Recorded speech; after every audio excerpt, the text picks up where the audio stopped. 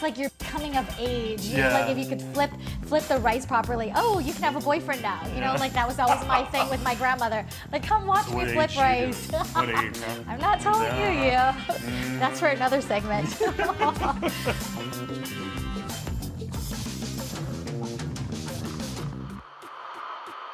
I'm here with Ann Ahmed, and what do we have here? Before you can really cook anything, the most important ingredient in Laotian food or Laotian culture is Mm-hmm. rice. And so we, I have sticky rice soaking because I know you were coming over. So you have to soak it first. So you have to hydrate it. That's the difference between sticky rice and all the other rice that we're used to. You know, in my household, it's part of our meal three times a day. So that's a lot of sticky rice to go through. Yeah. For our family, we eat, you know, both regular rice and sticky rice. Why do you prefer sticky rice? One of the reasons why we have it in our household was, you know, my grandmother would make it first thing in the morning and throughout the mm-hmm. day, like, you know, after school, it's ready to go for us. Being something that I grew up with, it's just, mm-hmm. it's a no brainer for me. It's just part of who I am. Our family left Laos when I was 2 mm-hmm. Cooking has always been something that was like a common thread for, for all of us. My first lessons with my grandmother was rinsing the rice. We look like we're hungry, right? We can eat all this. And then kind of feeling it and touching it mm-hmm. and realize how important it is to not waste a single grain mm-hmm. because she always taught me the lessons of like, you know, do you know how hard it is for the farmers to get the single grain of Yeah. rice? I think to me that was like the foundation of my life in the kitchen with Mm-hmm. my grandmother and mm-hmm. really for her to show me and teach me these things that I didn't Yeah. have the opportunity of growing up in our home country, but she was able to bring these lessons here and still implement it.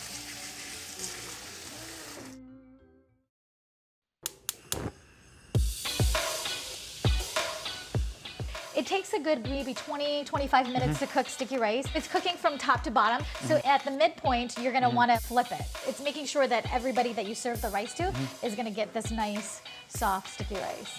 So one of the tricks of flipping rice is you gotta like press it down a little to loosen the bottom. So you kind of like shimmy it towards you and then you, Get higher, higher. You can do it. no. This is our lunch. I don't want it on the floor. So once your rice is done, you want to kind of like put it out on a flat surface. You can see it's like it's one big giant ball here.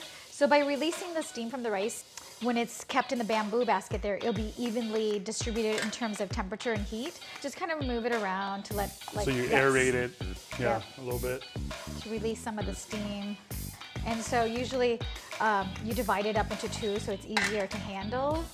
And then you could just like put it in there. This will help help keep our rice warmer. What you want to do is then you want to grab your sticky rice, make a little ball, and this becomes your like vessel for. For eating dipping, these yeah. hot sauce. Sometimes I like making a little, like almost like a little tortilla with it. And I fold it. So you would just go in it with your hand, and uh, we would always like do one like on our left hand would be one big giant ball, and then we take a little bit from on the other side. So you have this ready to go, and then you just go into it and you just dip it, and you have like a wad on here. Mm. And this is like Laotian hospitality. Mm-hmm. There's always something that we can offer our guests. Yeah. The sticky rice is always there. You just open up your fridge and Yeah. all of this would be ready made. So you could always have a snack with anybody who stops by. Yeah, this is amazing.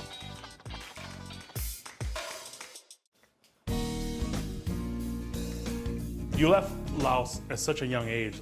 Does the food help connect you back with your country? Yes, for sure. When I look at this spread, it really reminds me of family. Okay, let's eat. This looks amazing. For us to be in a foreign country, food was what was always something that brought us together. No matter what went on that week, we would always, you know, come back to my grandmother's house, looking at this and eating this and kind of like the memories are there. But at the same time, it's like it's who we are now. We're Laotian American. So this is like the American take on it, but mm-hmm. still very much Laotian. Food brings so much memory and for us was definitely the the bond that held us together mm-hmm. was through our food.